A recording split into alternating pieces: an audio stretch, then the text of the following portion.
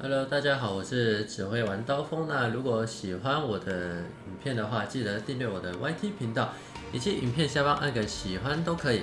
那这是在实况中的一个场次，我在吃东西，然后就是这一天我买了那个水冷小风扇，然后我后面真的把它给打翻了。那哈哈，这是一个消费的回忆吧。那有没有人发现今天声音其实不太一样？因为我拿到一个。由金斯顿赞助给 NS 的一个麦克风，那这个麦克风是不知道你们有发现，我金刚的 logo 旁边有挂一个金斯顿的这个 logo，就是类似帮他们宣传品牌。那它这方面的电子电竞产品之类都是蛮实用好用的。那如果会觉得我录音的这支麦克风声音怪怪的话，那我再录回来吧。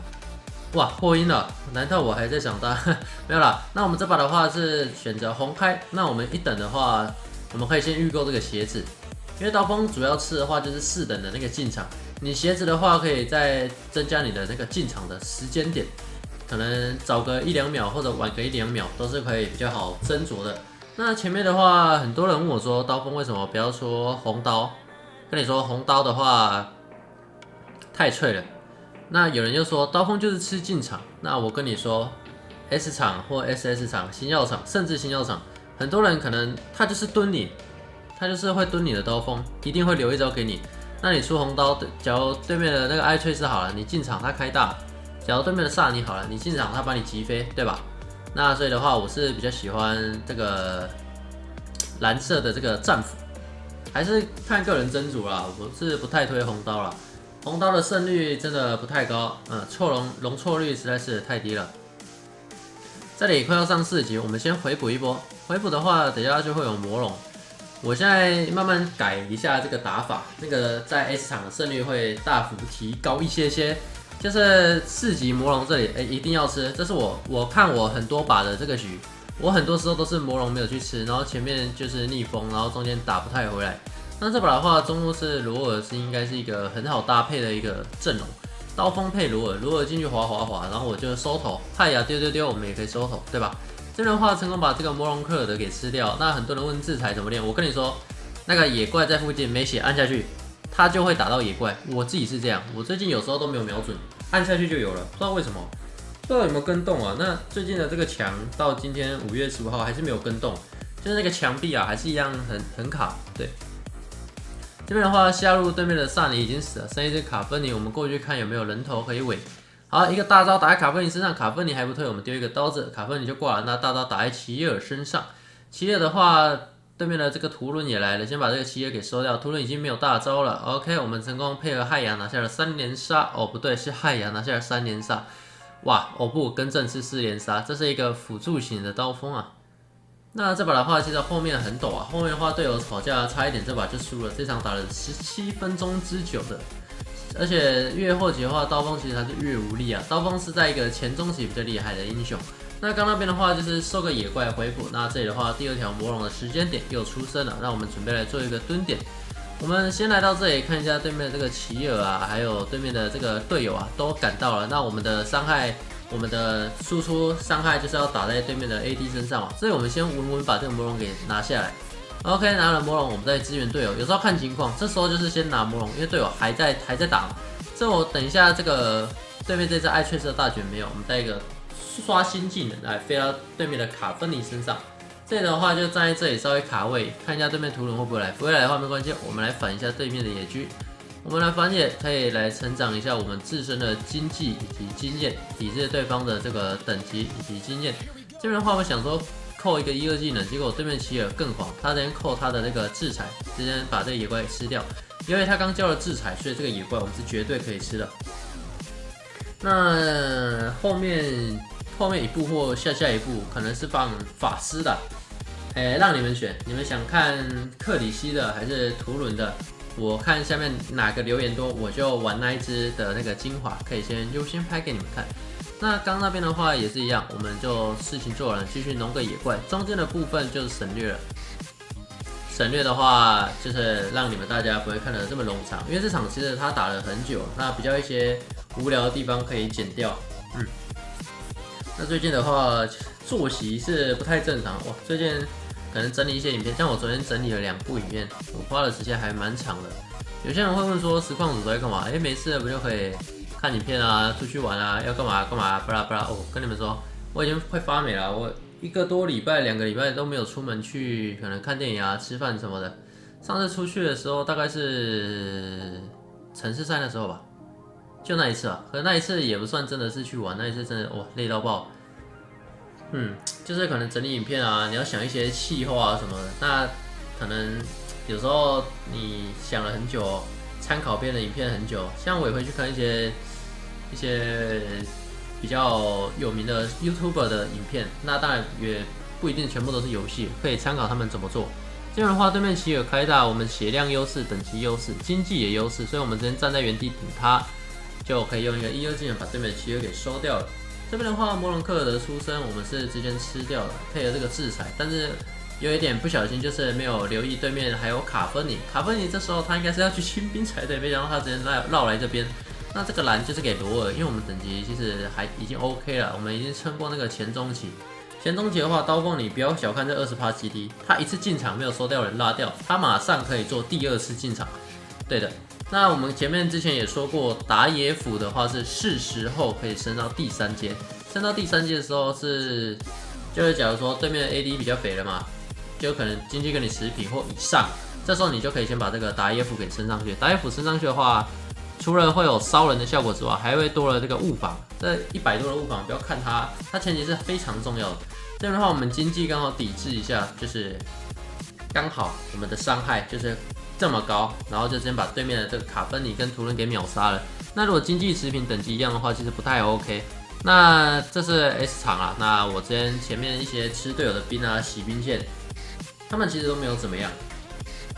那比较低的场次的话，关聊天吧。你们你们我们要想啊，我们做事情要想。今天我们撇除我们做事情的初衷以外。然后我们做这件事情，假如今天我们要打排位，OK，我们的确就是要打排位。我们打排位，为什么我们要打排位？你要去想，这是一个逻辑性的问题。你要打排位，为了什么而打排位？为了要赢嘛？为了赢，所以打排位。那游戏结果是最重要的。那过程呢？过程就是为了结果。那你过程，哎，赶快农兵啊，然后赶快收野啊，赶快自肥啊。那后面赢了，那是不是就好了？就跟你做事情是一样的，对。那假如说你今天是要打欢乐的，OK，就是可能玩一些比较不一样的，可能说，诶，刀锋走走打辅助，买个辅助装，诶，很噱头这样。那可能比较没有试过的哦，没有练习过的，你可以拿去 NG 跟朋友玩，这是最好。对，你就打 NG 嘛，因为你排位的话可能会害别人掉星之类的。那对，这是跟做事情是环环相扣的。假如说你今天要考大学，你要考一所国立大学，那你就要有所规划，对吧？这边的话，对面的卡芬尼打人是相当痛。那我们队友这个一个风筝，那我们这个艾瑞就绑对面的卡芬尼，就把对面卡芬尼给收掉。那在是时候反对面的野区，这个蓝的话我是拿下来，因为如果身上已经有蓝，那我们可以再带下兵线之类。因为队友在上路，其实他们。三打二其实很燥了，对面突人在中路清兵，所以三打二那根本不用去看，然后就直接跳过。那跳过的话，我们这时候来看一下对面的兵线。OK，这个凯撒要出生了，我们来吃一下这个凯撒。那就像你今天要考考大学，你是不是要先做好规划？国立的嘛，国立的大学是其实蛮难考的。我那时候统招好像考五百五百多吧，可以上国立。那我是选择私立小，因为私人的原因。那就像你要考大学好了，你要先做好规划。可能你今天假设你高中放学。五点，你没有补习，那你就可以先做一个读书计划。想你五点，五点放学嘛，五点到家，你这一个小时先吃饭、洗澡、看个电视十分钟或打一场传说，好了，大概六点，给你抓六点十分。六点十分的话，你开始读书嘛，读个不要说一次读一两个小时啦，读个四五十分钟，算五十分钟，那你可以放松个十分钟、十五分钟，那。打完之后再继续读书，读到八九点，哇，你的爸妈一定觉得哇，好认真的小孩啊。那其实很多时候我们都是做给自己的父母看。那其实你真的要读的，只有前面真的读得进去了之后，那前面半小时，这这其实我们都是过来人啊。所以你要适当的放松。你可你不是说一直读一直读，那你会读到后面有点疲惫，你其实是后面是读不下去的。你可以适时的放松，可能。读个半小时，哎，你觉得黄金精华时期，你这个脑子已经清醒了，那 OK，你就可以放松一下，放松完之后，你又可以再继续读。对，那这边的话，其实我是真的失误了，诶，加上有点脑冲。对面剩一只卡布里的话，其实我们不用进去，让塔拉去推上塔，那我们把兵线带掉，转线反野都是 OK 的。这边的话，队友其实有点开始有点小争执啊，因为刚中塔被对面一波差点推光光啊，差点推到我们家主堡。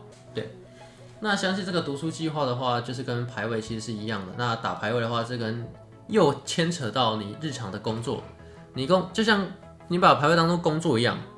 这举例可能有点夸张，但是对我来说是这样。你先把自己的精神养足了，把自己的精神过好，那你工作打排位才会顺利，这是一样的意思。你今天在自己最有精神、状况最好的时候打排位，那你胜率是不是就会大幅提升？所以我以前可能今天赢个两场还想打，但是我的精神可能没有这么集中，那我觉得那我不要打排位，我打个 NG 吧，跟朋友一起玩之类也是很好。因为今天早上可能我已经赢两场了嘛，在工作前先打个两场，哎，OK，因为我比较早起，那最有精神的时候先打个两场。那打完刚好老板来了，哎，可以上班了，对吧？那这时候这个艾瑞可能开始有点小争执啊，送够了没有？其实刚刚那个时候塔拉去上路的话，我们是跟我们吃凯撒，他还是有帮到一点忙，把人引开。嗯，那我们吃的速度也是相相当的快啊。这边的话，我们配了亥牙的一个一二呃一三连接，然后普攻就直接把对面的这个七二给刷死了。我的二绝。没有放出去，因为我们刚刷新完才丢二的。嗯，这里的话，其实我们刚是有点有点这边啊，这边是打的是有点不太 OK。这个龙放的早，再就是塔拉没有出生，这个龙放的位置最佳的地点是在高地以内放这个龙会最佳。这也是我是看，这是我是看比赛，大家都这样。那我是没有去问过他们。那这样的目的是为了说是可以养兵。把兵线养起来，那还有龙给对面的压力，时间比较久，对面压力就会比较大，对吧？好的，这里的话我们就是推个兵给对方压力，是不用急着做进场。这里看他们会在打的差不多，他们招也放完了，一个大绝打在对面屠人身上，屠人没死没关系，我们压制裁。看一下对面奇尔，奇尔开完大招，我们一个一三飞在对面奇尔身上，奇尔也死了，对面全死了，装备也出来了，那是不是我们这场会战所要达到的成果就这样显出来了？